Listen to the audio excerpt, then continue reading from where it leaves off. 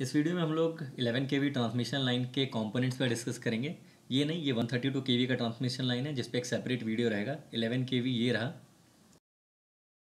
In general over transmission line का जो structure होता है, उसमें कंडक्टर्स और इंसुलेटर्स जो यूज़ किए जाते हैं, उसे देख के भी हम लोग अप्रॉक्स गेस लगा सकते हैं कि पर्टिकुलर ट्रांसमिशन लाइन कितने कैपेसिटी का है, कितने किलो वोल्ट का है।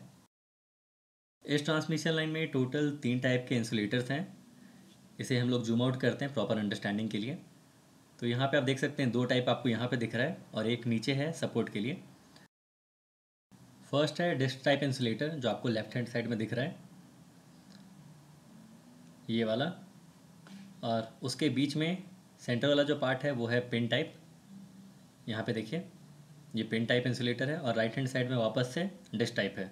तो कैपेसिटी डिस्क टाइप का पिन टाइप से काफ़ी ज़्यादा होता है होल्डिंग कैपेसिटी स्ट्रेंथ इसके लिए जो मेन टेंशन है वो डिस्क टाइप पे रहेगा तीनों फ़ेज़ में।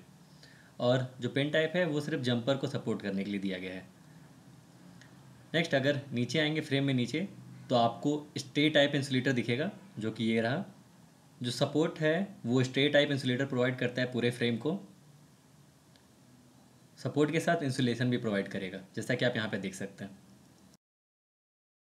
को एक बार फिर से देख लीजिए। यह है स्टे इंसुलेटर जो फ्रेम को सपोर्ट प्रोवाइड करता है। और ऊपर में दो इंसुलेटर्स हैं। लेफ़्ट और राइट हैंड साइड में डिस्क टाइप इंसुलेटर जो कि डायरेक्टली केबल के साथ कनेक्टेड है, और टॉप में पिन टाइप इंसुलेटर जो जंपर को सपोर्ट प्रोवाइड कर रहा है। तो ये सिंपल सा था। 11 के ट्रांसमिशन लाइन का जो भी कंपोनेंट्स है conductors and insulator next video में हम लोग इस पर बात करेंगे 132 के को in details so thank you so much for watching